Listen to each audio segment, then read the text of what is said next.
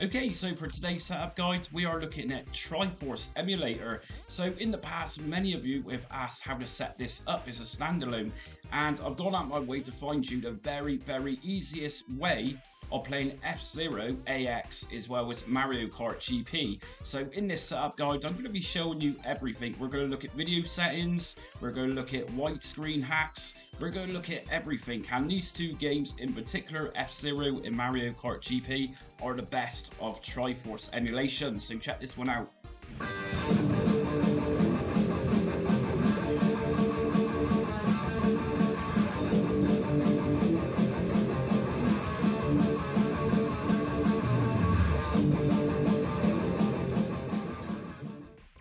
Before I start today's easiest possible way to get you up and running with Triforce and F-Zero in Mario Kart GP, if you like today's video, hit notification, subscribe and like that means you'll get notified every time I release a setup guide and it also helps my channel out a lot. So what we're looking at today is Triforce. Now if you're into Triforce arcade games and you've looked at setting this up yourself, you'll be overwhelmed with loads of different codes to add to your games, edit your game files and this and that. Now I'm going to tell you the easiest way to get two particular games up and running, which is of course Mario Kart GP and F-Zero, is a very easy way so what we're going to do, and I'm going to show you how to do this from scratch, is we're going to download RetroBat front end. Now this is absolutely free. If we just go to download RetroBat, download the latest version, version 6, let me just remind you, if you're new to my channel, I have over 130 different RetroBat video guides. That's not to say I'm a RetroBat channel, because I'm not. I'm a general emulation channel. So, this is going to take us to itch.io. We're going to download RetroBat. And we're going to go to no thanks, just take me to the downloads and we are going to download the latest version and version 6 released 22 days ago. And if you're interested in this and you don't know what retrobat is do check out my playlist. I've done a complete setup guide of version 6 recently. So we're going to download the stable windows 64 version of this and while that's downloading, two of my Triforce games are in here. We've got F-Zero AX. This is revision D I'm using and it works fine. Now, the other revisions you'll find, they also work fine, but for me, I'm just using revision D for this. And of course, it's an ISO file extension. And we've also got Mario Kart Arcade USA. And again, this one works absolutely fine for this. Okie doke, so once we've downloaded RetroBat, we're just going to quickly install this. Let me just remind you that once we finish doing what we're doing, if you don't want to be using RetroBat, you can just delete it, but I'll take you through that as we go on. So Windows protected your PC, more info, run anyway. And let's just quickly set this up. So OK. And I accept the agreement. Next.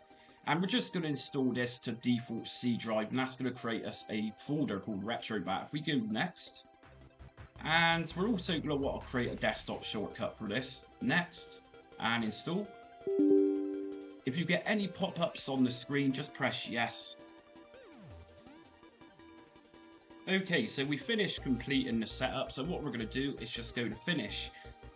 Now, I'm going to just quickly delete this setup file because I don't want to get confused between the main file to open up the program and the setup. So let's just delete this one.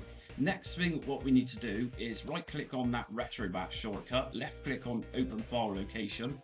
And if we go into the ROMs folder just here, we're going to just scroll down and we're going to find a folder here called Triforce. And here's Triforce. And if I just get my games and I drag them inside of that folder. So F-Zero AX, Mario Kart Arcade GP.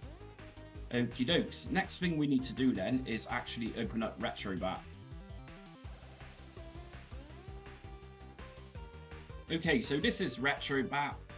What we're going to do is just use controller. I'm using Google Stadia controller and just go over to where it says RetroBat. If you press A on that, what we're going to do from here is look for the emulator itself. So we're going to go down to Dolphin WX, it says Triforce next to it. If I press A on my controller, next thing you're going to see is emulator Dolphin Triforce is not installed. Install now. Just press yes on this.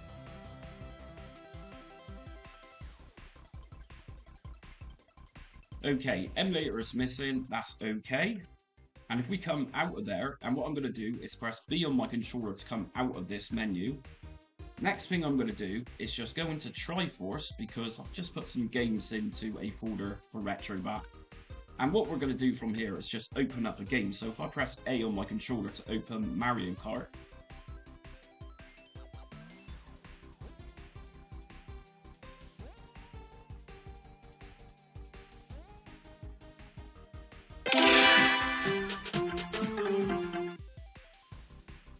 Okay, so what I've done then is just opened up Mario Kart and I'll press escape on my keyboard just to exit out. Now, if I exit out of this by pressing B on my controller, and I'll press start on my controller to come into the main menu, I just scroll down to and this is where the magic happens. So of course, if you're interested in Retrobat, then you've clearly got Retrobat set up with Triforce. But if you don't want Retrobat, we can actually use this now as pretty much a standalone emulator. So rather than searching for hours and hours, finding which version of Dolphin supports Triforce games, it's a mess. Uh, it really is a mess. What, what we need to do is right click on the Retrobat shortcut again, open file location. Now in here this time you're going to find an emulators folder. If we go in there, we're going to find Dolphin Triforce. What I'm going to do We've just downloaded this using Retrobat. So what I'm going to do on my desktop, if I right click, new folder, I'm going to call this Triforce Emulator. Cool beans. Okay then, next thing I'm going to do is highlight everything in the Retrobat emulators Dolphin Triforce folder. If I right click, I'm to just copy all this. And if I go into Triforce emulator folder, which I've just created, right click, paste. Now we've got the contents that we just copied from Retrobat, we no longer need to look for which emulator works with what, in particular these two games, F-Zero and Mario Kart.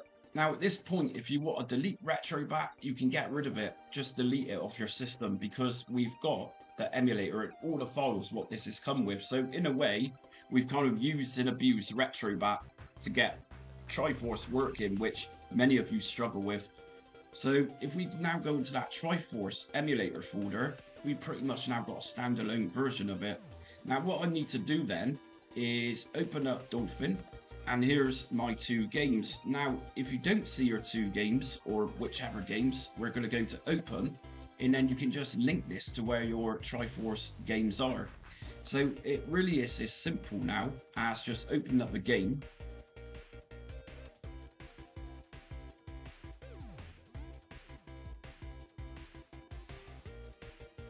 Now, if this is your first time and you're using the same revision of F-Zero as me, we just need to go through these settings just here. So for handle up, you can just use your controller to map this out virtually.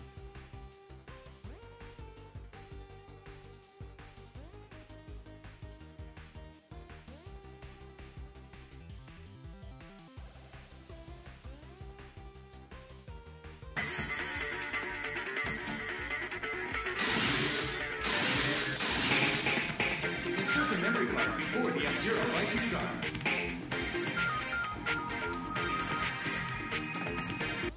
Please enter your name. F-Zero license car.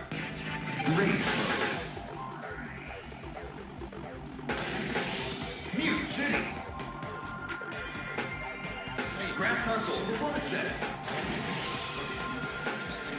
And you're then Sonical. Lap 8. Triforce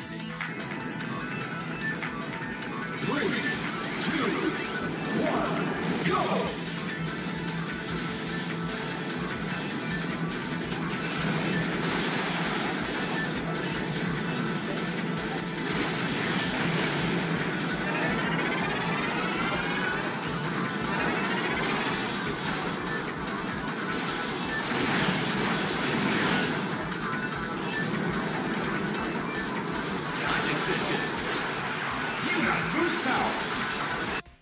You can see, that run absolutely perfectly, and it looks stunning as well. So next up, we got Mario Kart Arcade GP.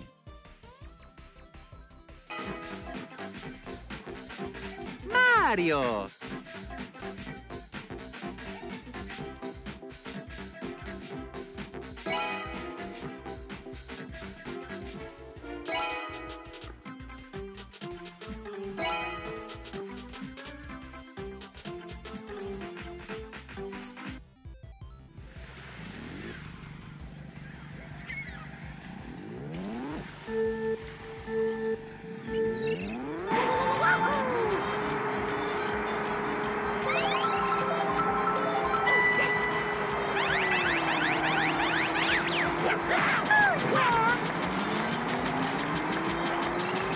As we can see, it runs perfectly, but the issue is with this one is that it's going from aspect ratios 4 by 3 to 16 by 9.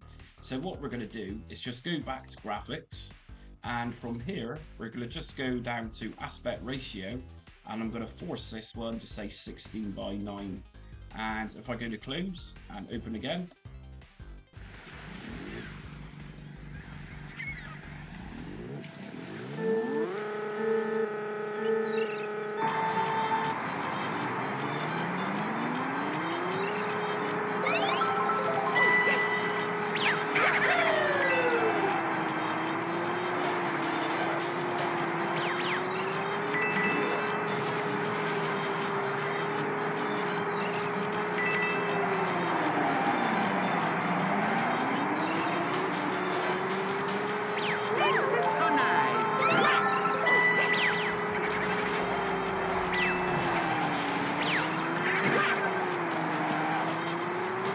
So should your aspect ratio switch between 4 by 3 16 by 9 that's exactly how you do it. Now we can also play around with video settings, so if we go to graphics, just make sure that adapter your GPU was selected for this, and largely Vulkan for backend works fine with these as you can see. Now if we go to enhancements, internal resolution, we can bump this up to say 4K, let's just bump this up to 1440p for now. I'm also going to apply anti-aliasing. So of course anti-aliasing takes away jagged edges. If I just put this in two times MSAA for now.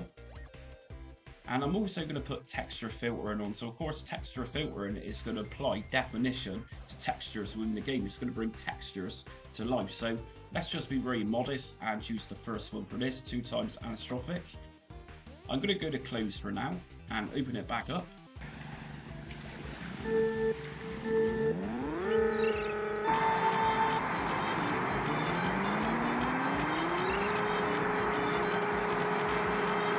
So the game's beginning to look nice, but you might not be happy with that 16 by 9 ratio. So again, just go to graphics.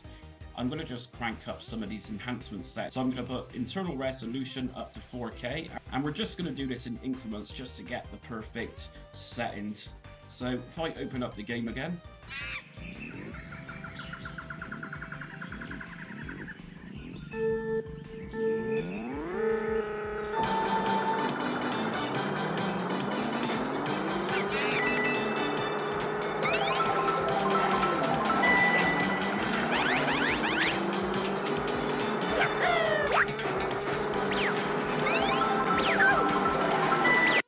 we can see there, perfect. So aspect ratio might not be to your taste. So just experiment with setting the aspect ratios. And as we can see there, it did slightly start lagging.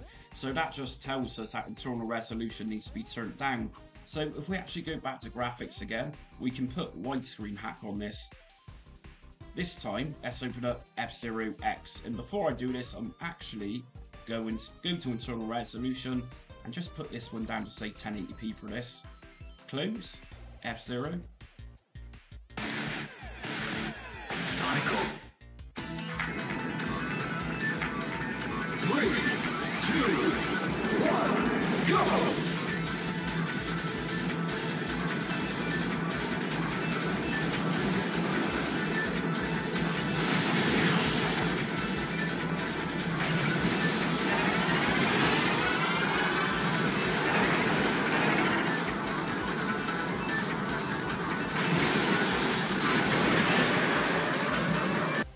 There we go, F-Zero AX with the widescreen hack applied.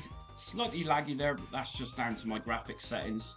So we're also going to try Mario Kart Arcade GP now with that widescreen hack enabled. Just remember, graphics, widescreen hack needs to be checked. We go down the clues. Mario Kart Arcade GP.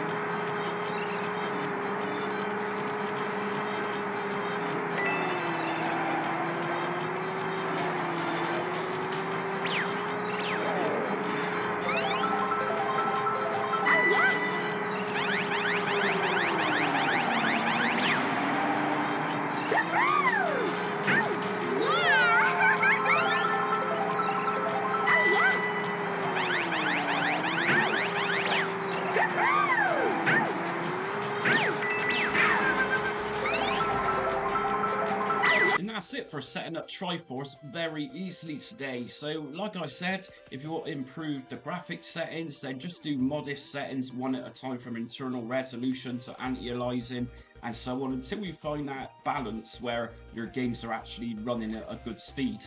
So anyways, if you're new to my channel and you like what you see today, hit notifications, subscribe and like so you don't miss upcoming retro emulation content. For those of you who's interested in RetroBat, check out my entire playlist for RetroBat and you'll find whatever you want there. I've literally done over 130 setup guides at this point. And also join me on social media. I'm on Facebook, Instagram, Twitter and TikTok. But until next time, stay retro.